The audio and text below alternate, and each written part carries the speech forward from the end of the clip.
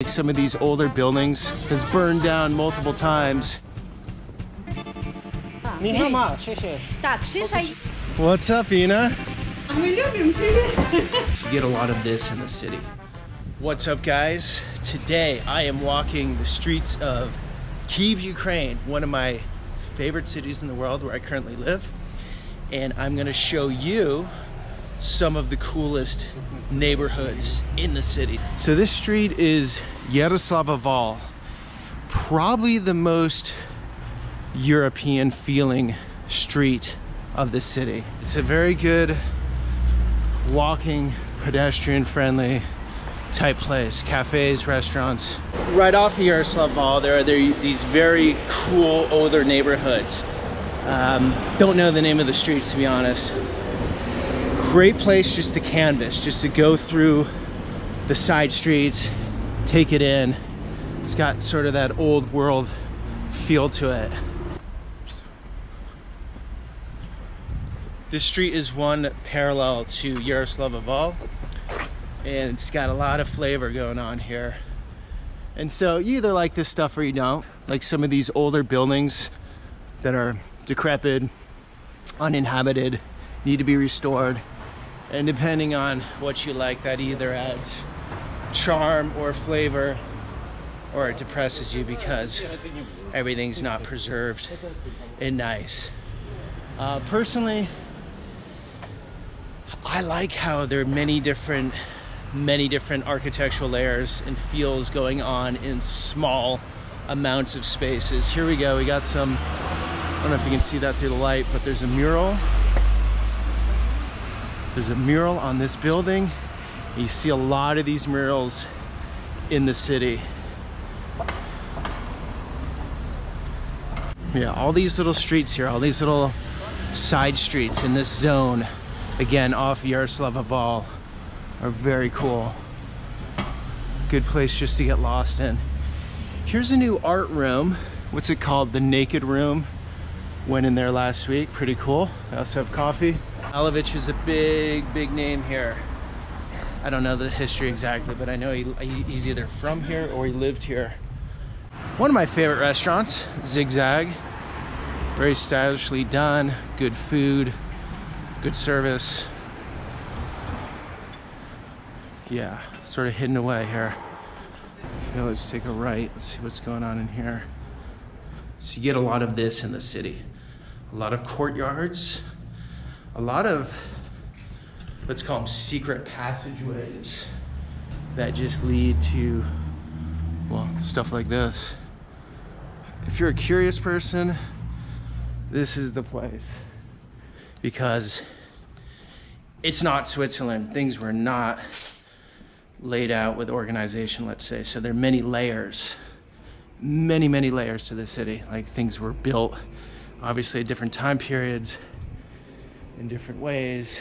And then so you find these like labyrinths sort of lacing through courtyards and restaurants and this is a coffee shop back here and that's that's what I mean like you can just find yourself stumbling upon random coffee shops that are not going to be out in the open.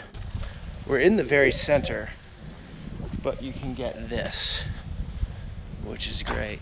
Like these little parks and these calm zones. And there we go. It pokes through to the other side. That was completely unplanned. The collection of interesting architecture continues. Love these doors on this building. I think it's a Gothic style. And overall, it's just a, it's a nice vibe. The cars are moving slower than the people right now. And that's the case with a lot of the center of the city here. So if you gotta get around, walking works really well. The metro works really well. When you do need a car, you need to get some distances, then Uber is fantastic here fairy tale medieval feel to it.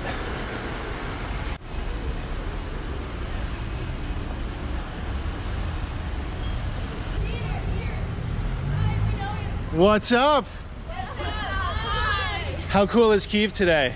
It's amazing. It's cool every day. Yeah, every day. I've had very little bad experiences with people on the streets here. It's a welcoming feel uh, to tourists, even though well, I live here, but still, I'm an outsider for sure. So here we're coming up on Golden Gate, and this is probably the biggest tourist site, or one of them. And this is one of the original gates in the city. It's a replica because everything is wooden here. Everything has burned down multiple times. So this architecture is all from turn of the century, turn of the century. I think it's all like early 1900s. Years ago, the currency took an absolute beating here, but it stabilized and come around. Actually, this is the best I've seen it for the Grivna since I moved here three years ago. It was up to 28, maybe even 29. Now it's down at what? Roughly 24. Metro stop Zolotoy Voroti. It's either this one or another one that's the deepest one in the world. And it, very cool, even if you don't want to go on the metro, go down the escalators because they go down forever. What is it, October, October 19th? And we're getting this great, beautiful, warm weather. Hopefully the video captures it, captures the feel. Everyone's out, spirits are high. Opera House, and the cloud, the skies are like, um, skies are a little hazy today and there's some burning going on out in the countryside. They're burning the leaves or the grasses or whatever. And, well, I'm not gonna lie, air's not always great in the city. If I'm gonna say there's one sort of annoying issue in this city when on the streets is the fact that the emissions, there are a lot of vehicles without catalytic converters and they use like some inferior gas that doesn't burn well. So you, you get those hits. You get those hits of a tailpipe often.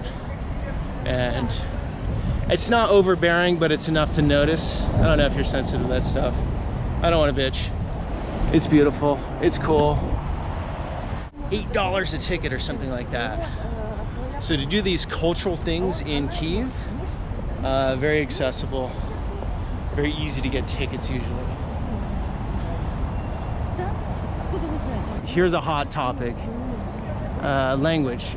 People speak both Ukrainian and Russian, and it's changing. It's changing somewhat. The young people are speaking much more Ukrainian. There's been a big emphasis from the government to speak more Ukrainian.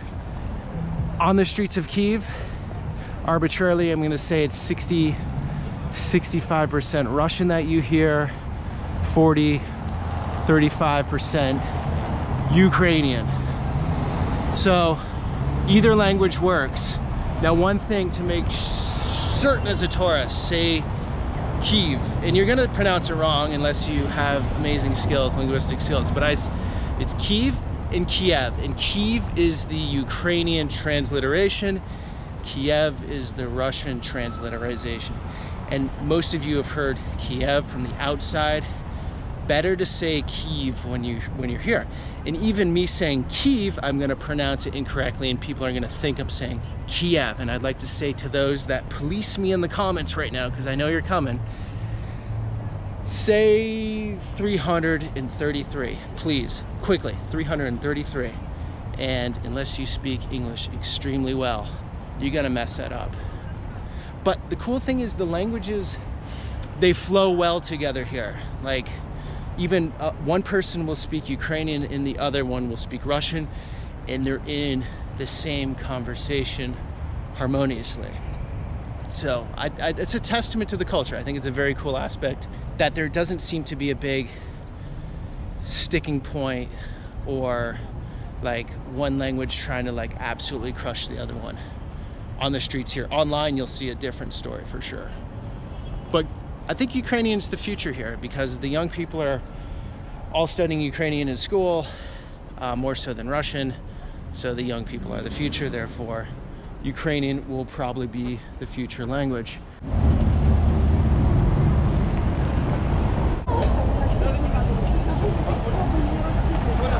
city like this just has to be nightmare with the utilities. I mean, it's It's all, they're just layers upon layers upon layers of infrastructure. Always ripping up the streets here. You want some history? Here you go. Saint Sophia, built in the 11th century and named after Hagia Sophia in Istanbul. Definitely worth checking out. You can go up into this tower. Um, there's a beautiful area inside there. Put some time into it. What is really cool about this city is it's close to a lot of things. So Istanbul, seriously, hour and 45, 50 minutes to get there. Berlin under two hours, Helsinki under two hours. So you have this this city that's sort of smack in the middle of so many things. We're gonna go over there, St. Michael's.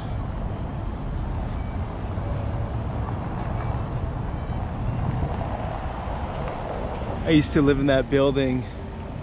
Where is it back there with the antenna on top? And from, from what I was told, it was the former KGB building. Yeah. And so there's a babushka, babushka mafiosa. And for those outside of Ukraine or the Slavic world, the babushkas are like, they're like Facebook, but better as in they know the algorithms of your life. Like they know if your relationship will be successful. They know if your kids are gonna do well in life. They know exactly your mood. They know who you spend time with. They they are ahead in many ways of the tech of Silicon Valley. So in that building over there, that Babushka Mafios, I always had to check in with them. And I, be, I got really close to them and that's a little bit dangerous to be honest. Because they always want to get into your business, which can be annoying after a while. I loved them. They were like mothers to me, but the other side of me was like, all right, give me some space. Just a little warning if you move over here.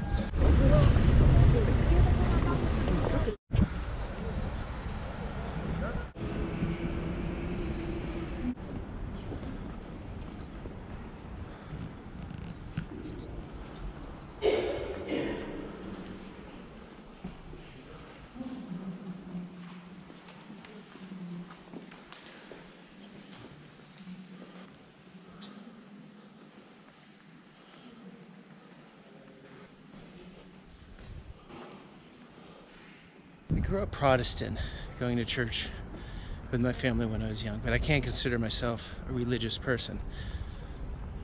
So from the outside, I love these Orthodox churches. First of all, the architecture on the outside is very beautiful. Secondly, they feel more uplifting than, say, going into a Catholic cathedral. This wasn't a great example because it's pretty dark in there, but some of them are pretty bright and there's like a lot of light coming down into them. And maybe it's because I have no clue what's going on really in the religion that I'm not connected to the, say, heaviness of it. But overall, I gotta say there's like a more uplifting, free feeling to it. Що там красиво? Whoa! Слышишь? О май год. Знаешь, что приходилось Oh идти my в god, ресторан. look at that, look at Ты that. слышишь меня? Эй, you speak English? Я не понимаю английском. Серьезно? Да, серьезно. Random. Concert every Random. Friday, Saturday to 11 every Friday, Saturday in this place. Я не понимаю. Что ты не понимаешь? Китайский, китайский только. На. Нихама, шеше. Так, шиша Покажи. есть. Love these details. До свидания. Saturday to 11. Yes?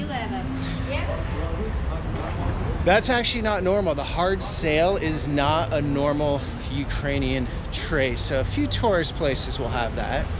Like that was a Georgian restaurant and like she's out there trying to do the hard sail, but there's really very, very, very little of that here. She was sweet, she was nice, but like if you know those countries you go to, like Egypt is probably the the maximum of getting hit by the hawkers. But Ukraine, very, very little.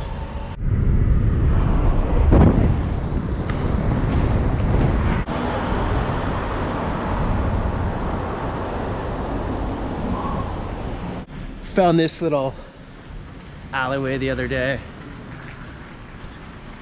And so I'm gonna repeat myself, but get into this city and just canvas it. Because the coolest stuff is not on a map or in any guidebook.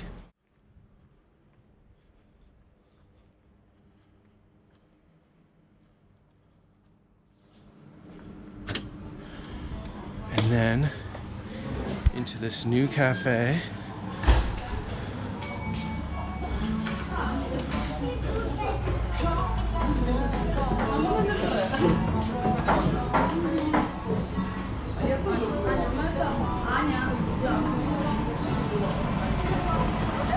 And out to the street, Sichovykh Striltsiv.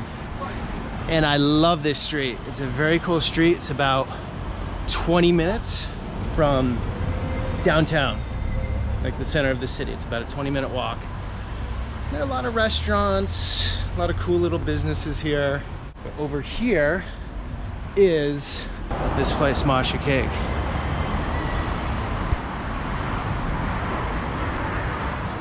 And look at these desserts. The Ecuador is fantastic. Oreo, if you like Oreo. But everything's very well done. Quality, beautiful, amazing. And that's Val. And very cool people here. That's that's the other plus. The staff is very, very nice. Привет, Питер. Привет! Как дела? Хорошо. Классно, мы любим, привет. Можно трофл, пожалуйста? Один? Один, с собой, да. This is the brownie. This is, um, if you eat two of these back to back, you will get type 2 diabetes. They're that sweet, but they're good. Yeah, Chorny, Pajalsta.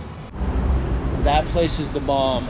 Well, Ukraine, let's just say, let's just say the honest, uh, the truth. The honest truth here is it's not known for its friendly, overt, overtly friendly service in businesses like that, but there are big exceptions like there. This is also a nice little gem. Right Coffee Bar. None of these people are giving me anything. I just want to show, share with you the, the little nuggets in the city that are definitely, I think these places are off the tourist path for sure. Yo! What's up, Ina? Peter. Want to meet you Gregor. Gregor, Uh, nice to meet you. Cool. I was just about to comment, so check this out. In Kiev, pre-revolution of dignity, 2014, uh-huh. nobody would stop in the crosswalks. Right, right, right, right. After everyone stopped in the crosswalks. In the heart of the city, yet there are many pathways like this into the nature. And some of them lead to cool places, others lead to, we'll say, more mysterious, darker places. In this part of the city, it's very hilly, so there are a lot of different corners and little nooks and crannies to get yourself lost in. It's really a city to be a kid in if you really want to explore. Uh, How about this? It's not a predictable place by any stretch.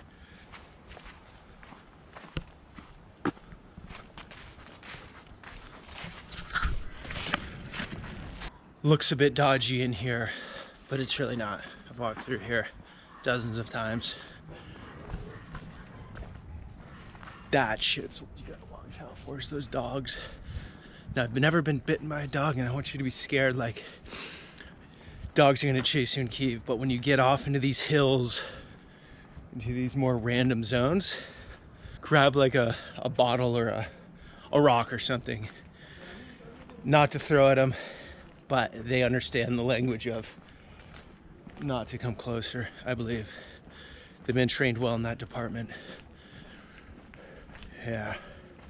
You don't want rabies. Okay, guys. Let's bring out, let's get into the lightness here. Now, we're gonna go out to a little viewpoint. That was a shortcut.